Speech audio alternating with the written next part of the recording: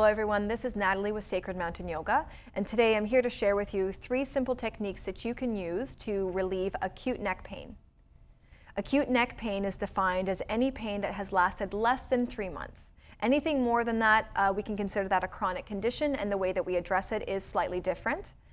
Uh, for the purposes of this video, uh, we're here to address um, any pain that's associated with a sudden onset of a muscle spasm or knot in the neck or upper back that is causing um, pain and inhibiting movement.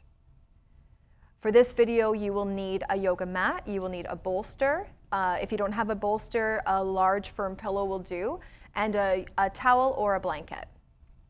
I hope these techniques will be as beneficial for you as they have been for me and my students. Let's begin.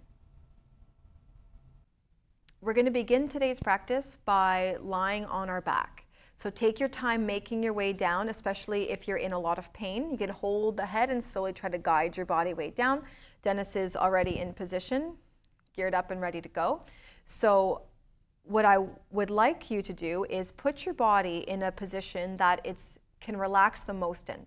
So take your bolster, okay, or your large pillow, whatever you're using for your practice, and you're gonna bring it underneath your knees carefully, slowly. If you have someone else to assist you, that's always great, but if not, you know, do your best to manage. Okay? And now we're going to work on aligning the neck. So commonly, if you have tightness in the upper back, the head or the chin will tend to tilt upwards, right, causing a little crunching sensation in the back. Right? And if you have um, too much of a pillow behind you, you could bring your chin too much forward, which would again cause more strain. So we want to position the neck in a way that the bridge of your nose is in line with your chin so that we can have a neutral spine. Dennis looks pretty good the way he is. We're still gonna prop him up just a little to give him that support underneath his neck. So lift your head just very carefully for me. Yeah, and we're gonna put that underneath. Okay, relax your head. Good, how does it feel? Good. So if you're at home doing this and you need to give a little bit of more of a roll in your cervical spine, just roll up your towel and just bring it a little bit closer towards your back. Once you're here, we're in our first position. So arms are just beside our waist. Turn your palms to face up so the shoulder blades can relax back. And now we're going to work on relaxing the body weight down. So a key component to healing is the ability to relax. Oftentimes we're consumed of what we cannot do once we have an injury and the amount of worry and frustration that can accompany that um, inhibits our healing process. So what we want to do is get the mind redirected, focused on your healing, on relaxation, so that your body can heal. So start with a long breath out. As you're exhaling, draw the lower belly into the spine and let your weight relax down. And allow your eyes to close fully. Okay, good. And let the inhale happen naturally, smoothly. Good, and then exhale, slowly draw the lower belly in and just sink the weight of your shoulders. That's it. Okay. This is probably the best position to put yourself in if you're having um, a flare up or a muscle spasm in your neck because it takes the load off of your neck from your head. The human head weighs about 10 to 11 pounds, so it's not ideal to be sitting upwards um, for long periods or standing for long periods if you have acute neck pain. Good. And as you're laying here, keep focusing on a long breath out and imagining the weight of your legs, the weight of your arms, the back of your neck, the back of your head is all sinking down to the floor. As much as you can, you want to cue relaxation through the whole body. Okay, technique number two is switching the position of the arms. So we're staying on our back, but we're gonna open the arms a little bit wider. So Dennis is very gently gonna draw his arms at about shoulder height with a soft bend in the elbows. Okay, to create a little bit more relaxation through the shoulder blades. Does that feel okay like that? Great. Okay, relax your eyes and go back to your breathing.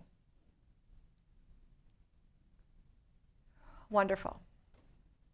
So each time you're switching the position, come back to your breath, back to your body.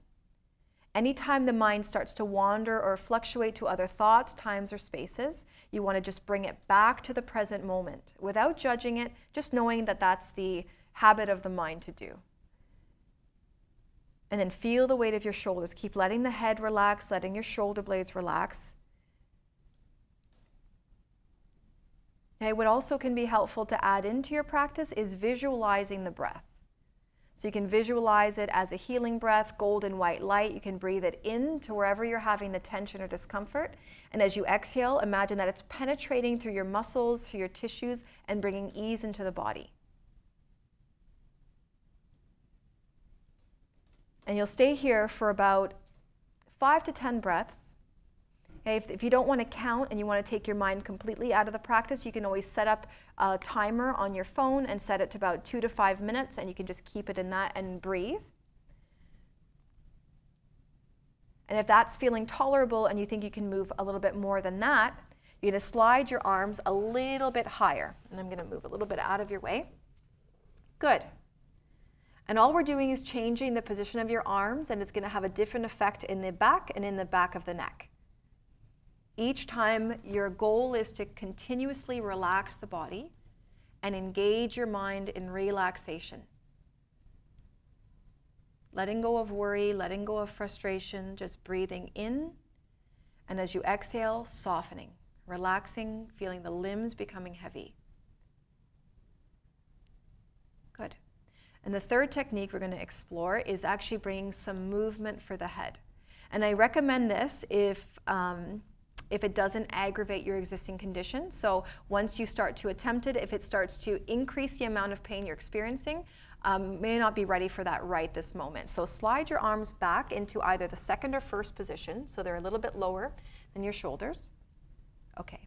And then very slowly, you're going to tilt your head over towards the right side and then over to the left side with a calm breath, inhaling back to center and then exhale, drop your head to one side, back to center with your breath, exhale to the other side.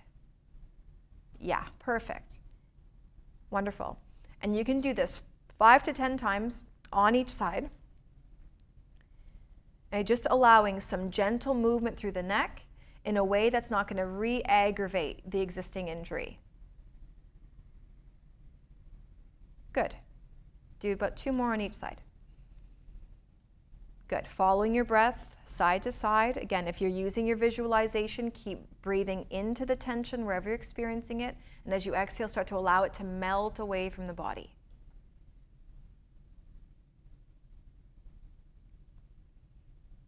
So these techniques should, um, should last about 15 to 20 minutes, depending if you're using timers or if you're counting your breath. And you want to give the body at least that time um, to be able to properly relax with your breathing.